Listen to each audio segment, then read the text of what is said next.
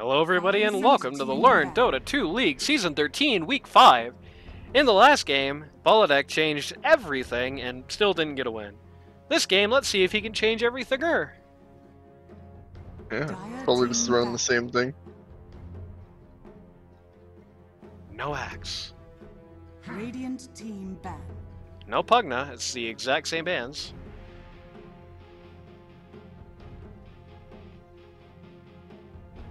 Baladec a big axe player? I don't think so. I don't know if you necessarily need to make him like an every game ban for Baladec.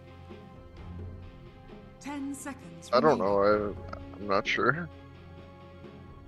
I think he's, he's more like uh, he plays a lot more like the utility threes than he does anything else. Yeah. Dire team ban. No PL. Interesting set of bans.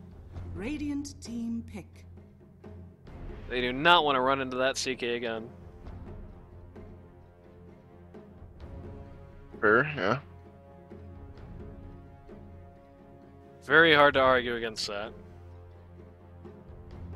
Dire team pick. Witch Doctor. Ah, Spaz Witch Doctor. Aforementioned. First, first pick Witch Doctor. He's gonna have some fun this game.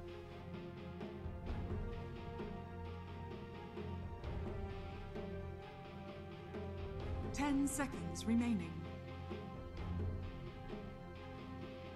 Five seconds remaining.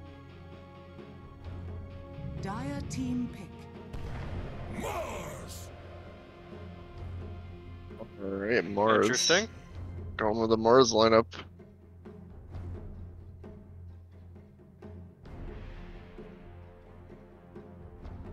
Radiant Gonna be running back the snap.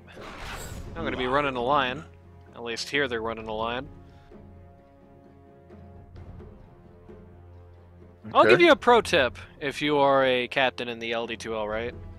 If you have a team that you know picks Snapfire and they first pick Mars, they don't pick up the Snapfire immediately after, remaining. you probably want to get rid of Snapfire. That's all I'm saying. seconds remaining. Radiant team ban. Picking back up the Phoenix.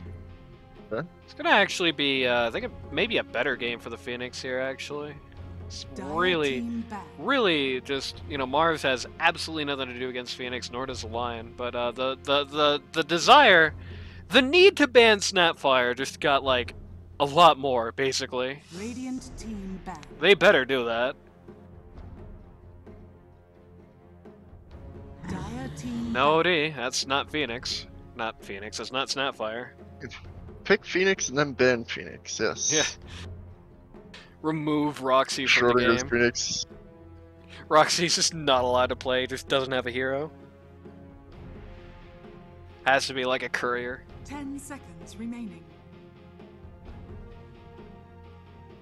Five seconds remaining. The Snapfire ban is coming, right? I'm sweating over here. Dire team ban. Oh my god, they did get rid of the snap. If they pick it up next round, you have nobody but They yourself to blame. How could they not? It's actually madness not to I pick mean, Snap uh, like, I don't know. I feel like we saw last game that Snap doesn't really do anything in the Phoenix if you play remaining. around it. It's- That's true, but like, uh. I don't know. I feel like it's kind on of the other hand, Mars has so much ability. for that for that counter. Mars has so much ability to uh, stop that from happening. Like, if you set up the arena in the right spot, the Phoenix Sun is just a non-factor. remaining. It's true. I just don't think they're necessarily gonna run it again. Five seconds remaining. Guess We're in not. the punch, however. I don't. I don't think I like the Pudge and Mars combo. Pretty good. Radiant team pick. Tide Hunter. They really are just running the exact same game again, huh? Yeah, Dire team seems that way. Except they got Wraith game King. instead of CK. Yeah, it's gonna make uh, it's gonna make getting anything done with that Mars very annoying. Nothing stops a uh, an arena from being that good, quite like Wraith King dying in the middle of it for the first life. Radiant team ban. Phantom Assassin. PA. Pretty good against the PA. Tide Hunter. Pretty good in general in this game, I would say. The only thing that messes her up is Phoenix. I'd say the Maledict also is pretty bad for her. It's bad, but you shouldn't be taking enough damage for it to matter as PA. Well, you definitely If should. you are, You- like you should- You should be if there's a Phoenix in the lineup. Is all I'm saying. They actually have a really good team to follow up on Maledicts because you've got Phoenix who's Five going to be able to remaining. burn you up to follow that up. You got the Wraith Fire Blast is able to burn you up to follow that up. You got the Tide Hunter Spit. And you know how you know if we're going to do the Ags and uh, and Shard again, then he's going to have like a ranged Spit, right? Radiant So it's definitely not going to be a game where PA is just going to get away easily from a Maledict. It's going to really cripple her ability to fight before the BKB comes out.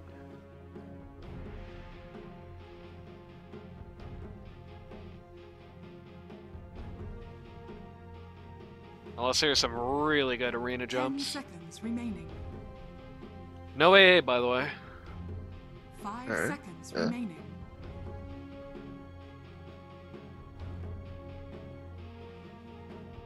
A fairly annoying for PA. So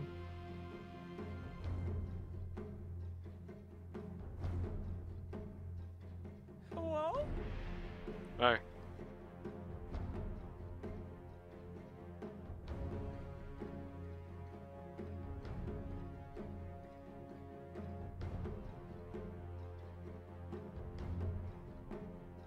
Dire team ban. No Shadowfiend.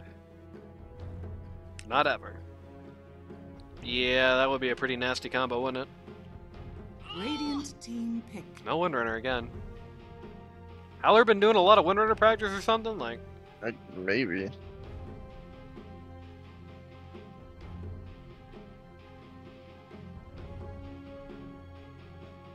don't really think I like Windrunner into PA anyway. Ten seconds Yeah, remaining. it's not the greatest. Five seconds remaining. I don't know if that was really worthy of a ban there. Hopefully they just uh, get Heller to random again. That would be funny. Most would be funny. definitely uh, two mids here. Remember Make him random every game until he uh until he cracks.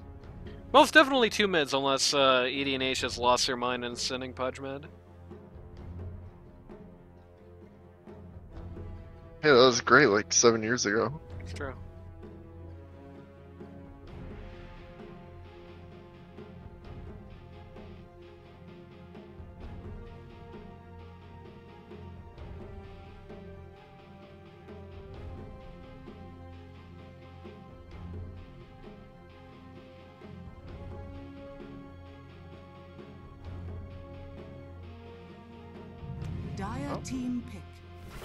Viper, huh?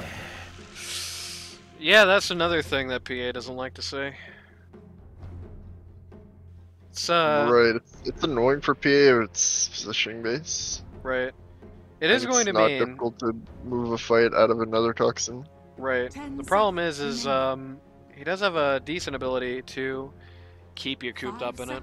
remaining. And it really is going to basically like if you get if your BKB runs out in a fight, you are totally dead. Like if you get Wraith Fire blasted and the and a uh, Nether Toxin comes down, you are hundred percent gonna die.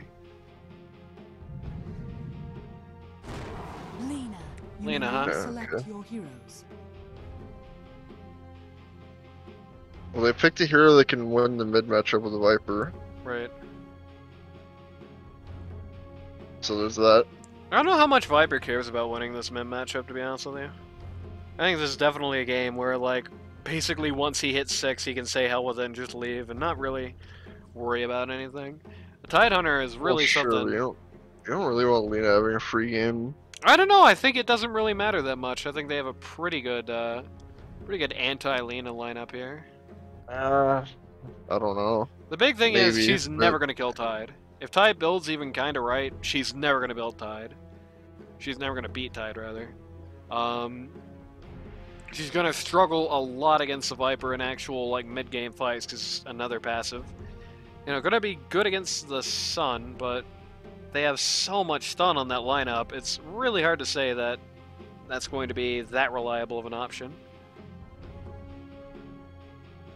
I think a lot of it is positioning based for uh for Belichick team.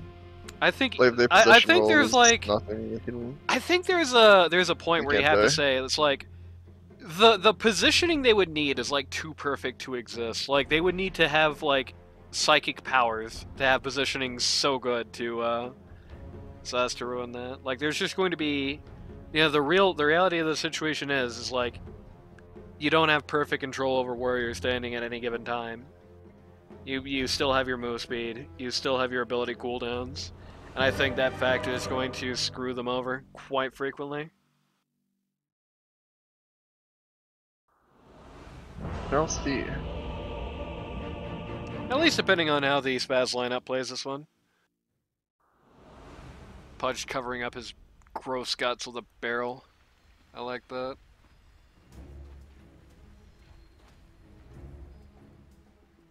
This is Prepare really for battle.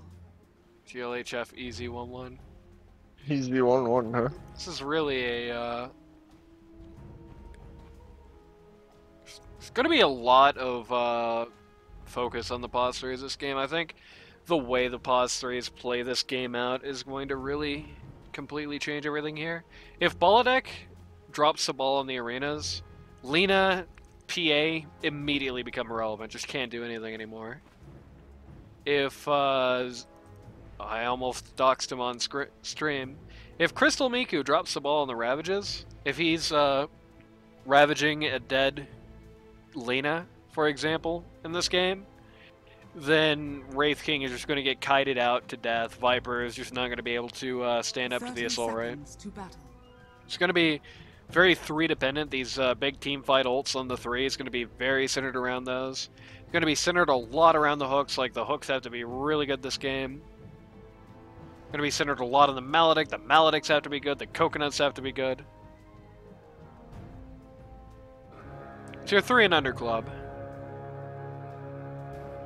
I think if they play at an equivalent level, I think uh, Dotfa begins. wins. They play it at, a, at like a mirror match level. I think uh, Dotfa is going to generally win that encounter. There's too many answers to PA on this lineup, and uh, there's too many things she has to do, and too many things she has to worry about in a fight. You know, you were talking about positioning. You know, when you're when you're talking about positioning in the fight, you have to be assuming your BKB is not up. Position around the coconut, position around the Nether Toxin, position around the Ravage, position around the Phoenix Sun, and position uh, around uh, like your general not getting hit by Wraith King type positioning, and be positioning yourself for like offensive movements, right? You have to be when that BKB is not up, you have to be like a god to to win this as PA. I just don't know how much Lina is going to do unless she goes like insanely out of control here.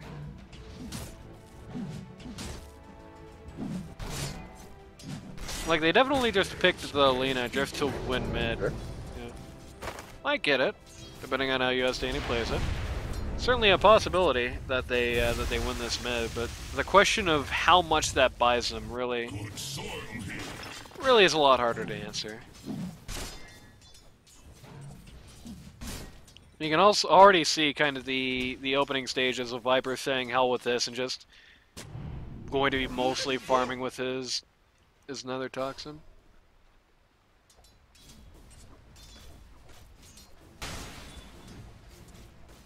Tell you this, I think the uh, the blank Ags nonsense build from the last game is definitely not going to be the play this time.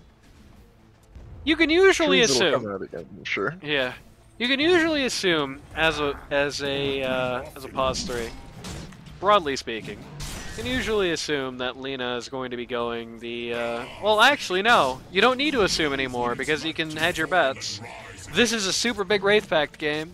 Just another thing they have to worry about in the fights, another thing they have to position around, and another thing they have to beat up when they're already having to focus on the sun, right? Drop a Wraith Pact active in this fight if you're Tidehunter, and Lina's off the map instantly. Just cannot do anything anymore. So, just running, like, pretending to run Roxy out of this lane here. it ain't working great for uh, for Pudge so far. It's definitely making it a lot more annoying for Roxy than it has to be. So if that's the That is the guess I can't- worst coconut bounces in history. That's so sad. unfortunate. Those coconut lenses go better. It's probably a kill. Katie gets hit by a hook. Oh, the spear missed though, unfortunate. If you want some insider knowledge, I know Katie is not. If there's one thing that is an X factor here, Katie is not good.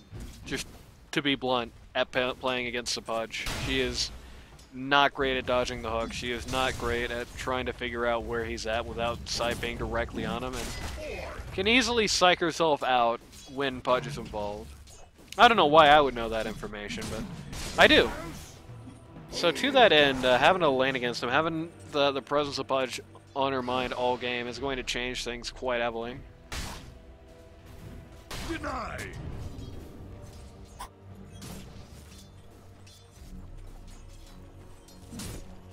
Okay, you got a skeleton bodyguard crew during fights. Yeah, during fights, it's not going to be quite. It's not going to mean quite as much, but until that point.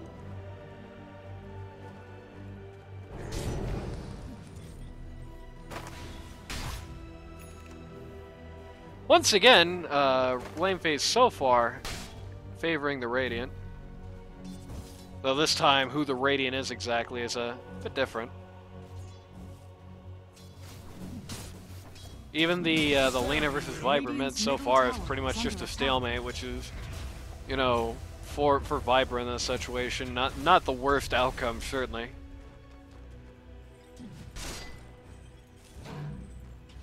I think people overstate how much of a bad matchup that is for Viper. I think there are definitely ways to play around it.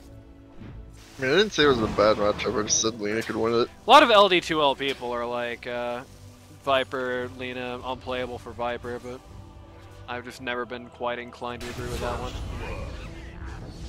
Alright. First blood coming out on the uh, Lion here. Time to feed. Blood in the water means it's time to feed. It's not time to feed. It's time to play Fi- good. Got So- first blood. For the record, if your name is Tidehunter and you see uh, you see somebody being maledicted like that, what you do is you spit on them. It's your PSA for today.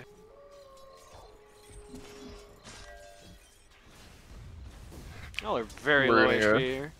One, three, have to- four build on the Wraith King as typical. Oh, they're definitely going to have to uh, restock. He's actually going to take the walk back to spawn. Luckily for him, Lina's actually cycling in a lane right now, so he's not missing that much in doing so. Grabbing ball charges. Yep. Probably going to show up just after Lina reappears in lane. Nobody's down there. Nobody's down there. Which doctor be missing? Completely untrue, but not a 12 year old can definitely make that claim. You know, getting pretty far forward here. Took a over half her health and damage there. She has actually won the uh, fight to six. Well, it was a stalemate earlier. She is starting to pull ahead, but it's not like quite enough to be like a really dominant win. Radiant's middle tower is under attack.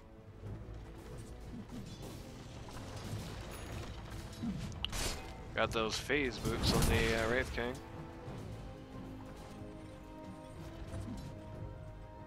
Yep, classic.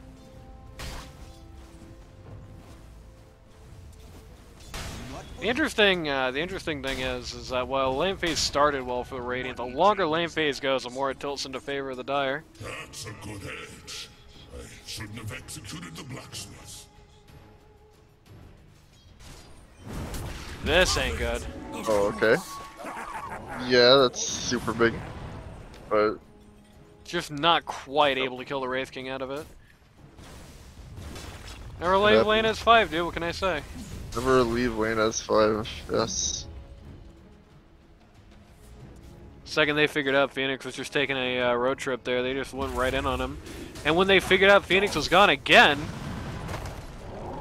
Oh, from friend of the show, Gorg C. they are so bloodthirsty. Phoenix desperately needs to get back here as soon as possible. It's shown back up. Warcarp's gonna take some some damage toll here. Yeah, gonna. It is starting to poke each other. it is starting to run away quite in favor of Lina here. Viper is definitely gonna need to just leave and start doing something more interesting very soon, or else this is just going to be like a a mild but flat loss for him. Like this is absolutely the time to just go, you know, go up top and just go splat PA or something.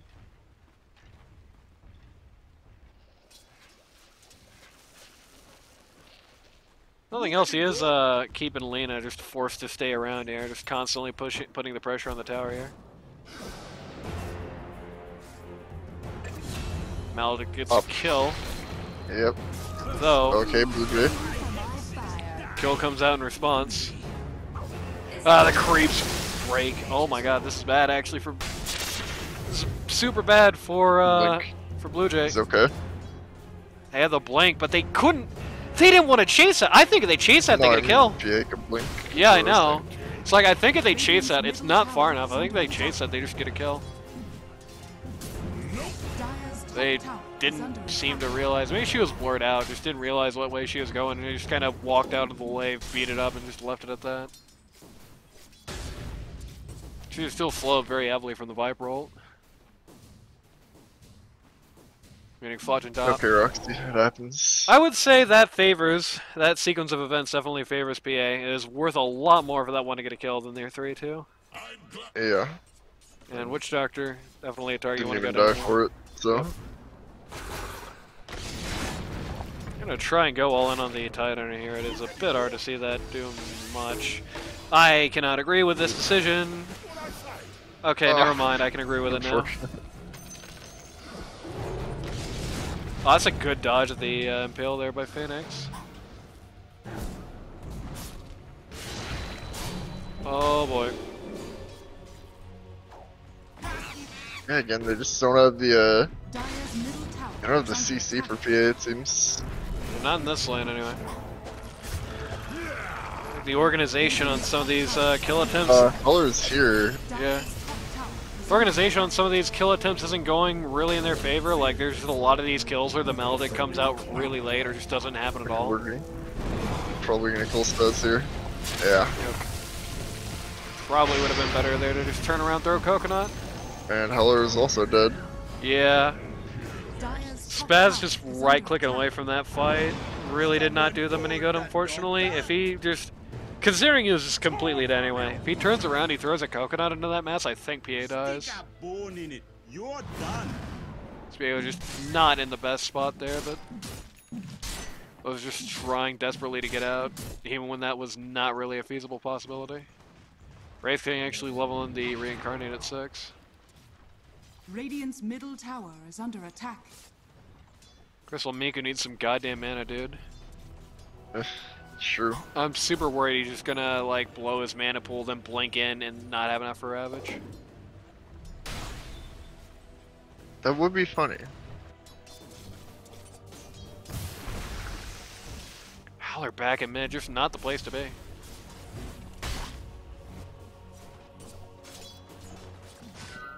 I don't know why Katie's walking away from this. Uh, You know nobody's here. Just, just be there. Just take that wave. Take these goddamn waves. I tell you why Katie's not there. Katie's scared of Pudge because he's not directly on the sight line. That's what I was talking about earlier in action there.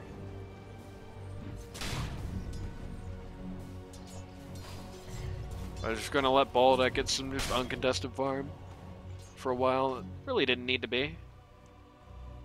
Radiant's Howler middle too slow to get anything done here. Radiant structures are fortified. See, pulling in on Courier. Dragonlance, so say. Yeah. Ironically, something that was just just uh, seen by Howler said I was too slow, which is correct. It is Dragonlance. I was a little worried that I was going to be a hammer for Maelstrom. It was super not a Maelstrom game for Viper. After uh, after Lance, maybe after Lance and Shard, if you want to be fancy. I don't know. I think this is a situation where you can put it off just a They're little smoking bit. out of these two at top. Yeah. Dire's top tower is under attack. It's a super smart smoke, actually. yeah, just gonna get these Elite two. Spasms land. Uh, Tiger's No not real looking too much Titan better. Yeah. Let the sharks have my flesh. more money into the pockets of PA. Right. There is a way PA does something in this game, is that she just gets such a huge farm advantage that she just becomes impossible to stop, even if you have all the Oh, they're gonna for put her. Right in the arena, but oh, Gonna, gonna die for his troubles. Dancer. Radiant's top tower Never mind. And. Pop Seller, yeah. These all belong to There's one thing that you definitely are starting to notice here. There's like a massive mobility deficit on the Radiance part. It's just they're always getting, like somebody on the dire is always just walking away from them, no matter how much CC they have. Need some bongo boots ASAP. Armlet up on the Wraith King. Look at the net worth charts here. Again, just pretty cleanly favoring Dire so far.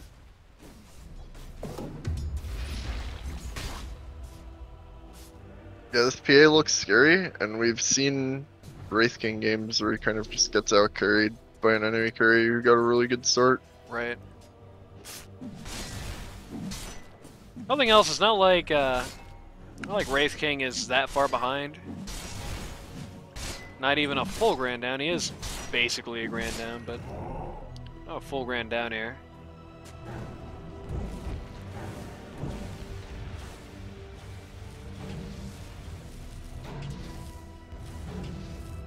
You know, the problem is PA flash farms Problem is with that, is like I said earlier, team has so many TA or PA answers that as long as well, there you go, PA just randomly dying there. As long as an answer to PA exists and is able to be relevant to some extent, then uh, it's just never going to be great news for her. Like if Wraith King is able to stay on pace with PA to any real degree, tower the matchup is going to favor his lineup, I think. structures are fortified. Radiant's top tower is under attack. Very brave, uh, very brave kill there for the for the Viper there. A punch. Kind of just got walked, just walked up into it. But once again, they just are too slow to do anything about him. He's just able to speed walk away, and they can't stop him. That's where Coconut is really annoying. Please turn your armlet off and don't just drain your entire HP bar. That's where Coconut is really annoying. It's just not a good stun for a situation like that. Okay. That guy's dead. Witch Doctor likely to follow. Going to furiously ping out for his team, but nothing yeah, will got the happen. And Wraith King can't do anything more about this because he's burned off his entire HP bar with Armlet. Please don't do that.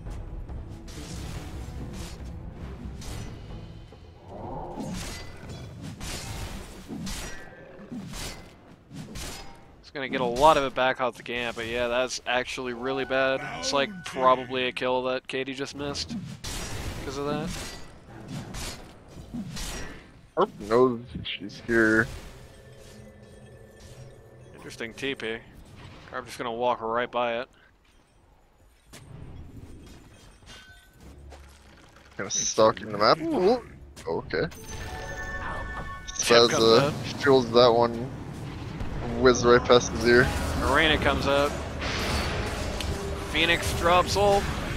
Oh, Crystal man. Meek is too late. He doesn't have ult himself. He doesn't have ult himself. Yeah, he doesn't. Well, that's just objectively incorrect. You're not gonna save for the okay. Radiant's bottom tower is Now Wraith King's gonna just very casually go down. Should not have been anywhere yeah. close to here.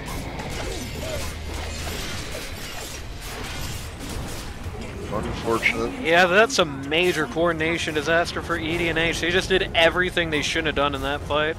Shouldn't have had Wraith King anywhere near that. They shouldn't have had the uh, Tide Hunter, like, ult when the Phoenix ult wasn't around yet. Or vice versa. Like, these two ults, they just need to go together. They have to go together. If these two ults come out at different times, you basically don't have, like, the Phoenix ult. You're basically down one. Literally everything went wrong there, and that is not great. I don't know why we're looking at current gold. Radiant's bottom tower But the uh, whereas once there was a you know 1k gold difference, now we're suddenly Gotta looking at away, a huh? very massive gold gold deficit. Why is Katie here? You are way too early to be fighting, especially with your ult down. Structures Are fortified. Radiant are scanning. This is so dangerous, dude. I'm worried sick about this. Especially the team walking away from her. Oh my god, okay. Ah, I mean, it's Very crazy. fine, I think. I see Mars on the wave, so I think without Mars, they don't really do anything. Radiant's bottom tower I think with is the under the attack. Pudge Hook and Dismember, they can just chain stunner long enough to get the kill. Sure, They'll hook her if but she dies. A lot less top scary than is under a attack. Mars. Radiant's bottom tower is under attack. And no reason to risk it either. They get nothing having her up there.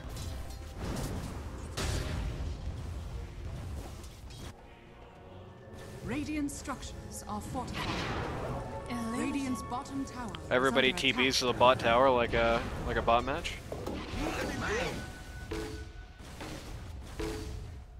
Spaz gets the last hit with the last coconut bounce, very fortunately for him.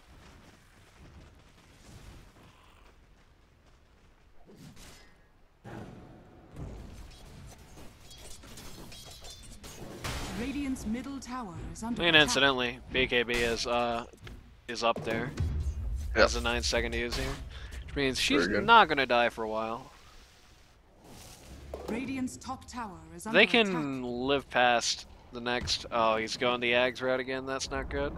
If they can live past the next like 10 minutes, then I don't know how much that net worth advantage on Lina is gonna matter, but if this PA net worth advantage gets much worse, it's gonna be very bad. Radiant's top tower is under Like they just, well, just to be blunt, they need to not mess up the team fight. Basically, if they don't mess up the team fight, I think they're pretty much going to win it every time. But if they keep doing what they did in the last We're running matchup. a carp just- here Yep, is gonna tank this happily. yep, just completely dead. bottom tower is under attack. Radiant's bottom Better than your PA getting falling. gone on or your Lina getting gone on, so he's happy with that. I'm sure he's not happy, but he's content with it.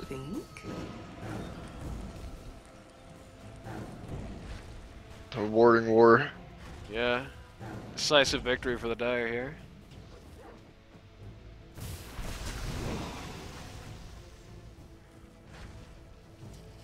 Ongoing awarding war. Hell yeah. This is a real action. Baladec just gonna push up bot lane here. Tome's going to be bought up.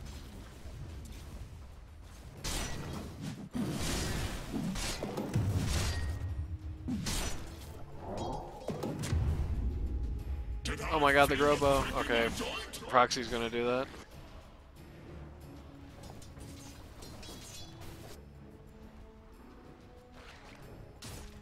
Yeah, the Ags, uh, the Ags shard build for four tide was probably the way to go last game. but this game, you really just need some tank, and it's like it's such a almost this binary issue. it's like if you get some tank, like if you pick up the the Wraith Pact, like Lina is never gonna be a threat to you.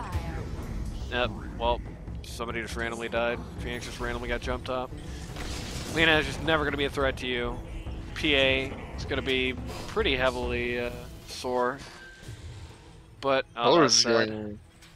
They're going pretty far here. And we're getting TP responses. Oh man, they're all very dead. unlucky. Very unlucky coconut bounces there. Oh, Howler just gets eliminated. Why is Yeah. Katie here? They're Randy, I, I got an honest question for you, okay? Why in God's name is Wraith King there? That might be it. It's very early to say that, but that might be it. I think Wraith King has just shown and spilled way too many times this early. Just cannot do that. Absolutely needs to just go somewhere and just farm and ignore fights and just pretend they don't exist. But he hasn't been doing that. He's just let the enemy lineup get massive Radiant advantages on him. Are fortified. Radiant's bottom tower is under attack. Good news for The Indian problem, the problem is the PA is fighting and fighting very successfully, and you can't outform a PA as a Wraith King. Like it's impossible. Well, the problem is you need to stay at least on parity. Like the PA is fighting, and you know that's not good. But I tell you what's even worse is PA is fighting and killing you every team fight. You know, Yeah, killing you every team fight while you're getting no farm. because No, you. Just, I think you can win if you just don't take I the don't fight. think so. I think you just. I don't think you need to have farm. I think there's enough answers to TA if the game goes late. And Well, the answers aren't answering right now. It seems. Yeah. Well, the answers aren't answering her because they're. uh... How how do I say playing it wrong in the nice way? Just feels like every fight there's at least some misplay to some degree on uh, on Dotfa. Once again, Wraith King coming out just should not be here. But it's very strange. It felt like last game, like the way the ults were coming out for Dotfa was really well coordinated. Felt like, you know, every time the Phoenix Egg came down, it survived. Every time the Ravage came out, unless it was on a dead person, it got a kill. But this time, it's just night and day. This time, it's like, you know, the fight starts with, like, the, the, the Ravage, and then, like, a Phoenix ult a few minutes later that just dies instantly. The Viper Break Gunk just comes out on Lina. It's being very, very predatory towards Lina specifically. Viper Break Gun comes out on Lina, and she just walks out of it in one second. Nobody stuns in it. Witch Doctor's not really having it feels like any tangible impact on these fights, even though he's such a crucial part piece of this puzzle. I don't know. Feels like there's a, like a communication breakdown between game one and two. Like somebody left the Discord or Radiant's something. You know what I'm saying? is under attack. If the communication is good, I think they, like I said, if the pieces come together, I think they win every fight, and if they don't, they're just gonna lose every fight. I think it's very much like the uh, the WSC game from last week, which you know we, we, we, we talked about, where you know on paper I think this is like a better team lineup. On paper, I think this is like a like a lot of good matchups, tower has fallen. but in practice, like the execution factor has just not come together. And some of the builds are also kind of whack, as the kids say. It's very unfortunate. Radiant's top tower has fallen. I mean, hey, Katie's my friend, right? I want Katie's team to do well, but this ain't how you do it. If you can't bring together a lineup like this in the future, pick simpler lineups. I think it's basically just the long and short of it. Wonder how much having the stand-in. Oh, well, I would say usually wonder how much having having the stand-in That's changes Roxy. things, but Like Roxy's super good. yeah. Well, Roxy's super good, but isn't part of the team dynamic, right? So when you're talking about communication and execution, it's like the big issue. Where was the blink? When you're talking about communication and execution is a big issue. Radiant's bottom tower is under attack. It's very necessary.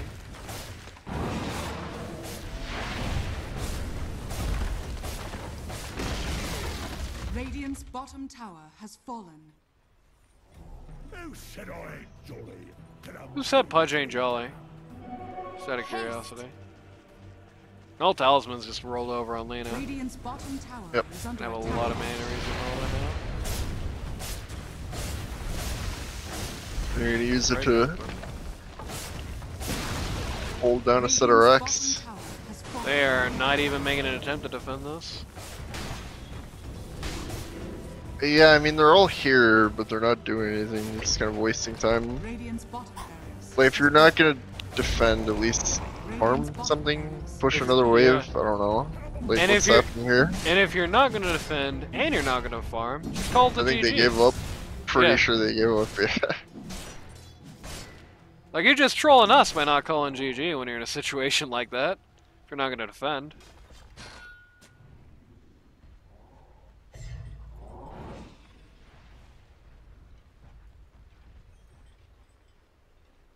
Dire's top tower is under attack.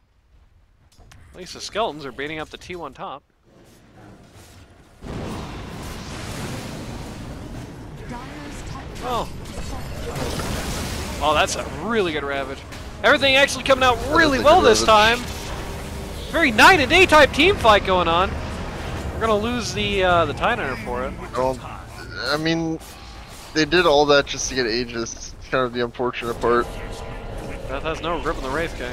Radiant's middle tower has fallen. Like they got Great an coconut. Aegis and a Pudge for that, and that was everything. True. So, if they get caught out here, then they really don't have much. On the other hand, they didn't really lose particularly much to do that. They just lost the tide.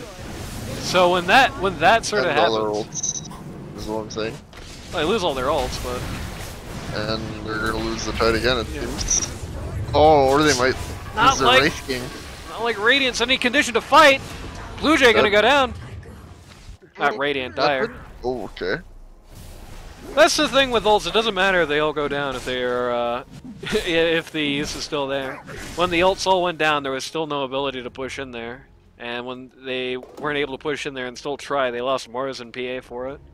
PA melted particularly easy there for a second life.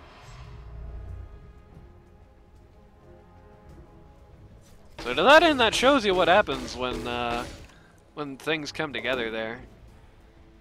You know, they just take they take a major VIP in the uh, PA. They actually knock down Mars without him being able to arena as well. They knock two over. They lose nothing for it, but they have to do that. Like they have to, you know, things have to come together well for them. If they just kind of casually drop stuff like they've been doing for a lot of this game, there's just no hope. Oh, poor Tide. And uh, That's a dieback. That's a dieback. If, and if Tide is going to wander around a jungle with no vision when he knows there's a uh, Lina with Invis, then it's also not going to help things. At the very least, he's going to be down, uh, like half of his downtime, his Ravage is going to be on cooldown, and right now that's all he is. Has that shard, but that shard doesn't mean anything. He just hasn't built right to make the Ags shard mean anything here. I think a build like that is only going to work all that great anyway when you're ahead. So it's definitely not a bad idea to shift gears if you're if you were thinking about it and you're it's like the game is down, right?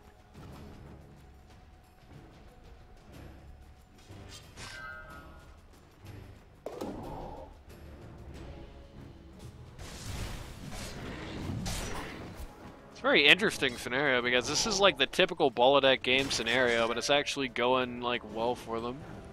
Yeah. The uh, the Radiant has a better draft. Baladec is outplaying them. The Baladec team is outplaying them, but uh, this time it's to such a degree that even with the superior draft, Radiant's still just gonna get canned here. It feels like. I mean, it's not over. If they keep striking like correctly, if things keep coming out right, um, there's definitely still a path to victory. Even the racks down, even if they did see the racks, that's very unfortunate. But even if this this lane is down, there is like a path to victory here still. But they have to be coordinated. They have to be communicating, and if they aren't, there isn't one. Satanic Yep. coming out of Lina.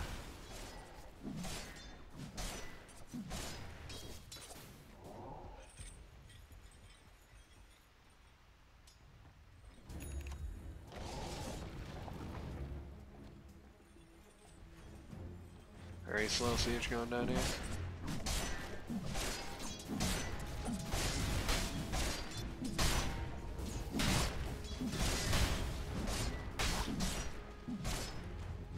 You know, I'm starting to feel like we just never see Witch Doctor win an LD2L. Like, for how often he's I mean, there was that one wizard game where he got like 30 kills or whatever. Yeah. It's like it. Feels like S12 and 13, whenever we see Witch Doctor, just doesn't have much impact and ends up on the L team. Got a smoke gank going on here. It's a bit interesting. Titan are immediately going to be dropping it. And then getting pinned to a building. No, never mind. Ball like desperate to not get jumped on there. 53 seconds to Rosh.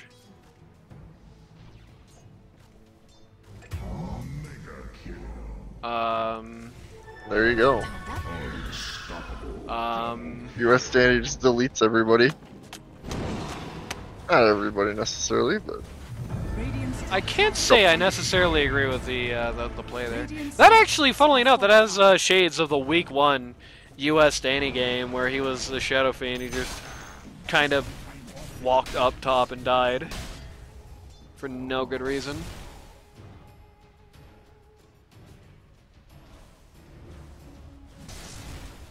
Unfortunate. Yeah, that's I do for sure. It's true. Uh, Okay.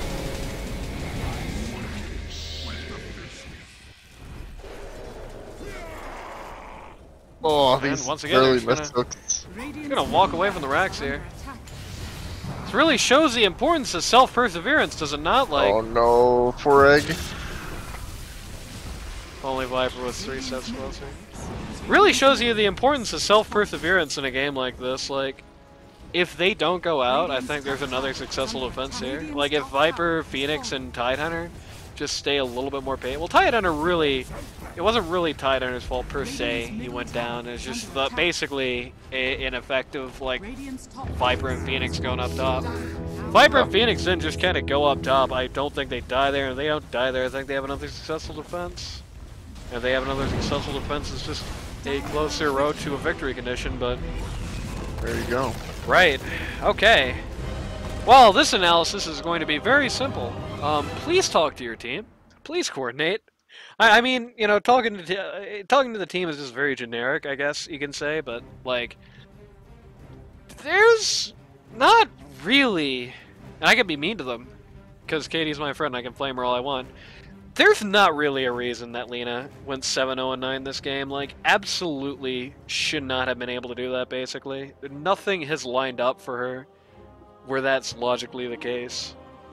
But every part of the coordination for Dotfa went down. The literal coordination in team fights, it wasn't good. The way people were building wasn't good. The target prioritization, it wasn't good. And it just seemed like, um, in particular, the supports would often just kind of get left behind here. The the strategy wasn't good.